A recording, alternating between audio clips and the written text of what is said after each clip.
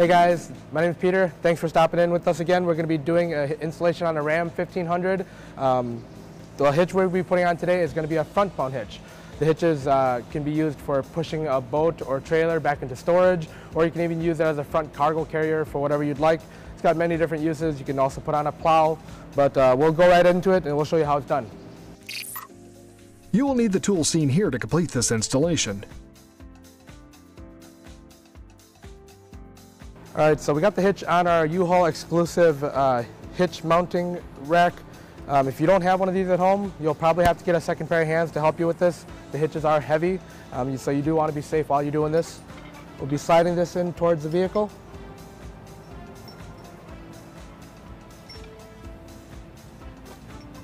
Be getting this lined up. What we'll want to do is just get this into position so we can find out our notch points because we will have to trim the front bumper here just slightly to get the hitch to fit into place.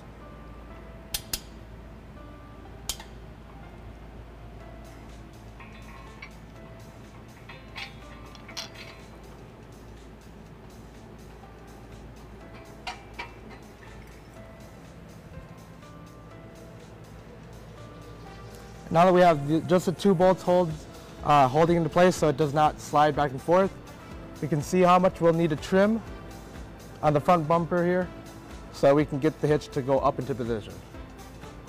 All right, so, so now that we have our hitch up into place, the instructions calls for eight inches of trimming, but for this particular vehicle, we don't need that much trim.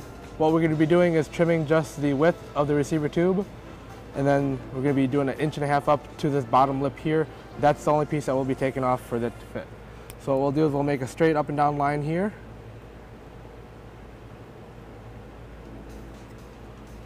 one on the opposite side as well.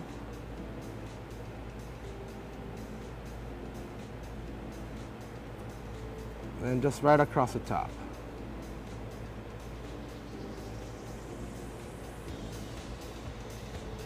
Then you can pull your hitch down out of the way and start your trimming. All right, so for our trimming today, um, you can, it's just plastic fascia. You can pretty much use whatever you have laying around, um, aviation shears, um, anything like that. For us here, we do have our uh, air saw, so we'll be using that to do it today.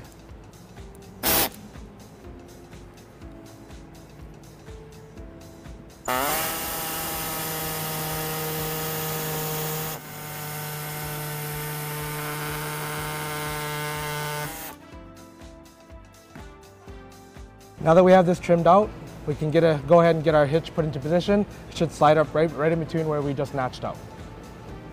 All right, so our attachment points are here underneath the vehicle. We're on the passenger side as of right now.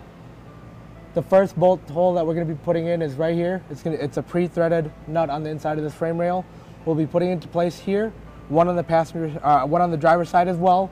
And then once we have that up into place, we'll be using the hitch as a template to drill a hole in this area here for our secondary attachment point. All right, so hitch into position here.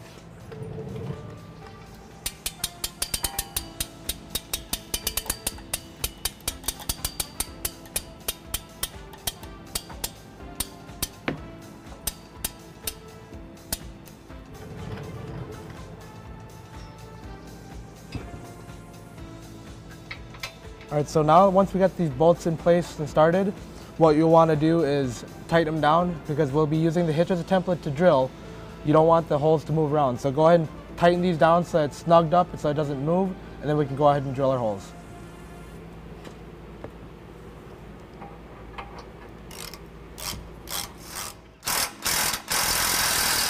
All right, so the hole that we'll be drilling is here, and we'll need to bring that up to a half inch.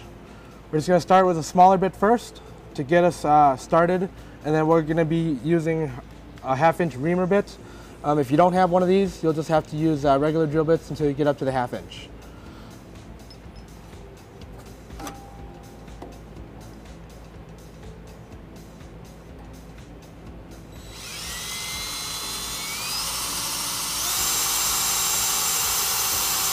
Now we have our pilot hole drilled. We'll go to our reamer bit.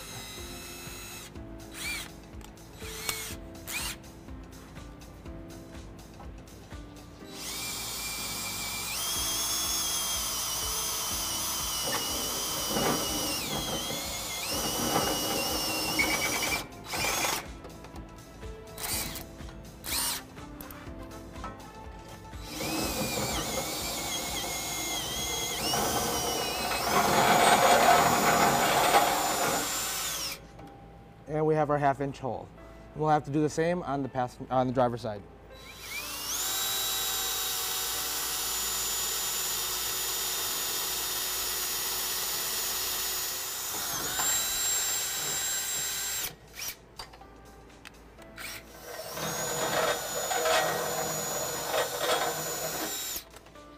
All right, so before we can fish, our, fish wire our hardware into place, we noticed that our um, plate here is just a little bit too big for the access hole. So we do have to notch out a little bit on the frame itself so we can get this, plate to go in. Um, what I'll be using is a uh, air saw to notch out the sides on the uh, hole there and I'll show you uh, what it looks like when, when we have her done.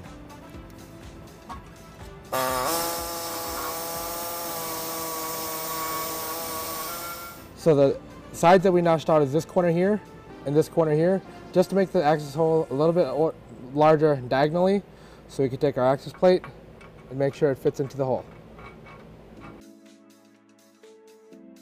All right, now that we have that hole large enough for our access plate to go through, we're gonna take our fish wire, put it through the hole that we had drilled, go through that access hole where we enlarged, we'll be putting in our plate and our bolt. And then we'll pull it through and we'll be able to put in our washer with the nut on it.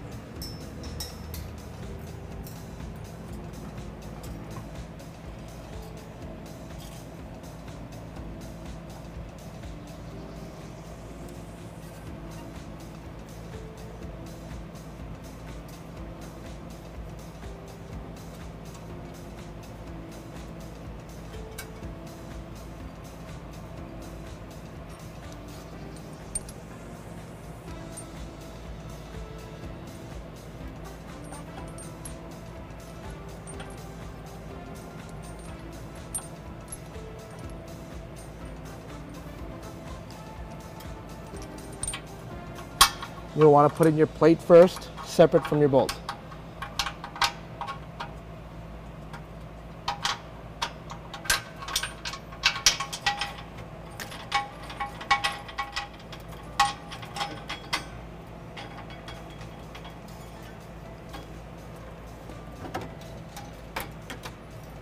And then we can put on our conical tooth washer with the teeth facing the hitch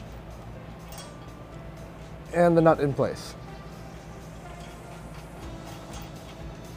Then we'll do the same on the driver's side.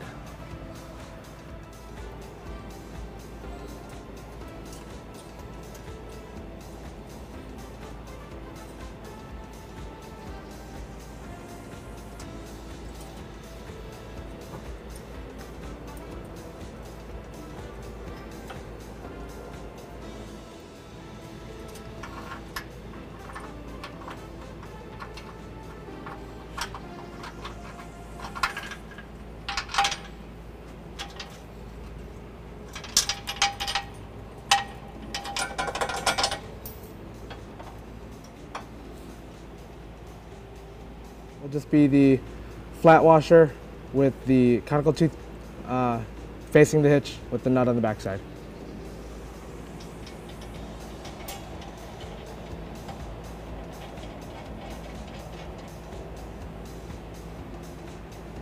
And now that we have these snugged into place, we'll want to pull these front ones back out. Since they were just our holders for the hitch itself, well, we'll have to have to still put in some conical tooth washers on the front bolts, um, and I'll show you that here in a sec.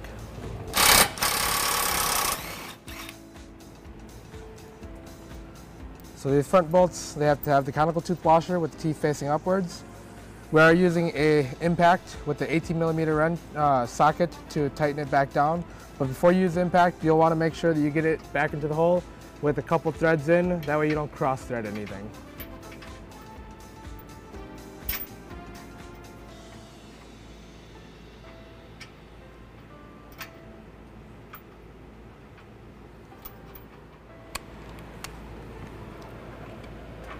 We'll snug this one back up.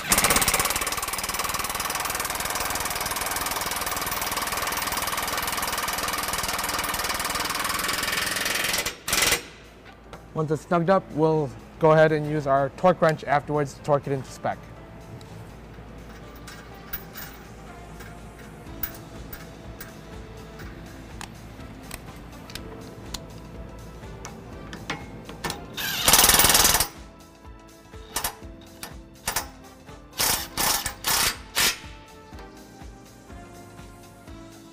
Okay, so these front bolts are going to be torqued down to 90 foot-pounds, and the rear ones are going to be torqued down to 75 foot-pounds. So let's get those torqued down into place and get hitched done.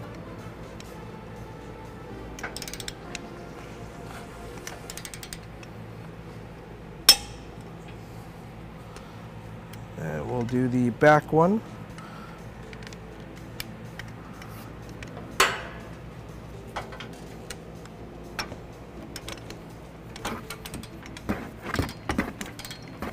Back one here, this one will be a 19 millimeter nut, whereas the front one's an 18.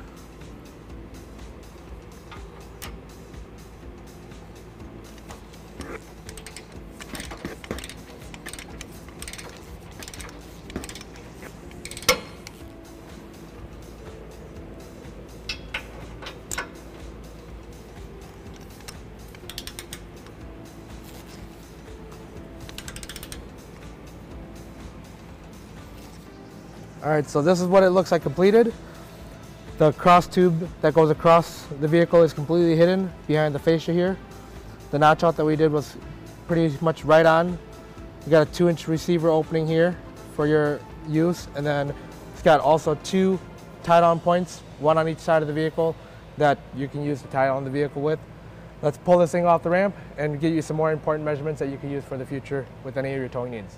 All right, so quick couple measurements here from the uh, hole of the where you put your pin in to the front bumper is going to be six inches. That way, in case if you have any uh, accessories that come up with the post that goes up, you'll know how, how much of uh, space you'll need.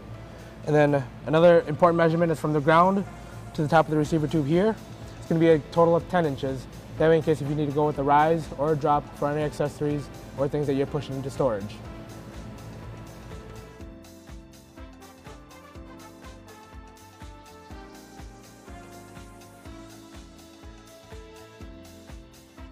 Thanks for coming in and watching me install this front bumper hitch on this Ram 1500. Stop in again, we'll install more for you in the future. To learn more about the products seen in this video, or to schedule an installation by U-Haul Hitch Professional, visit us online today at uhaulhitches.com.